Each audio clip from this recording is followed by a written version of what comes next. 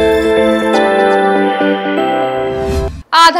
ताल में दिनांक 2 सितंबर की रात हर्षा बर्मन, बेलकम कॉलोनी, पटेल नगर सुहासी, उसके पहचान का मुभोला भाई रवि पटेल उसके घर आया था। वही रवि पटेल से बातचीत करते हुए घर के बाहर निकली थी और उसी समय घर के कुछ दूरी पर ललित आटा चक्की के पास खाली प्लॉट पर वेलकम कॉलोनी, पटेल नगर मोहल्ले के सौरभ रजक हाथ में चाकू, मुकेश रजक एवं गोपी बर्मन डंडा लिए मिले। उनके साथ श्रद्धा रजक उसके घर के पास आकर उससे बोली कि तुम्हारे अकेले घर में रवि क्यों आए हैं?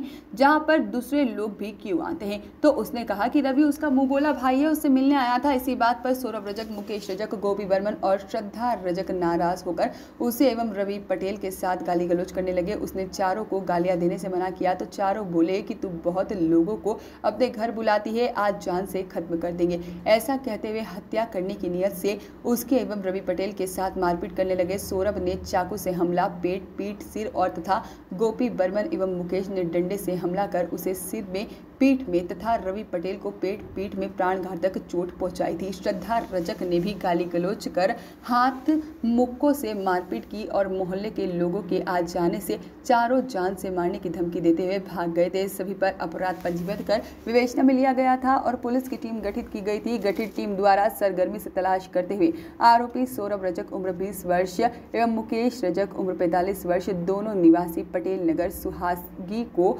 अभिरक्षा में लेते हुए शेष आरोपी की गिरफ्तारी के प्रयास जारी हैं। सुहागी महाराजपुर निवासी हर्षा बर्मन की रिपोर्ट पर कल शाम को रात्रि में सात बजे करीबन तीन सौ सात का प्रकरण सौरभ रजक, मुकेश रजक एवं अन्य के विरुद्ध पंजीबद्ध किया गया है। और विवाद का कारण यह था कि हर्षा रजक के हर्षा बर्मन के घर में उसका मुँह बोला, भाई, रवि पटेल का आना जाना था।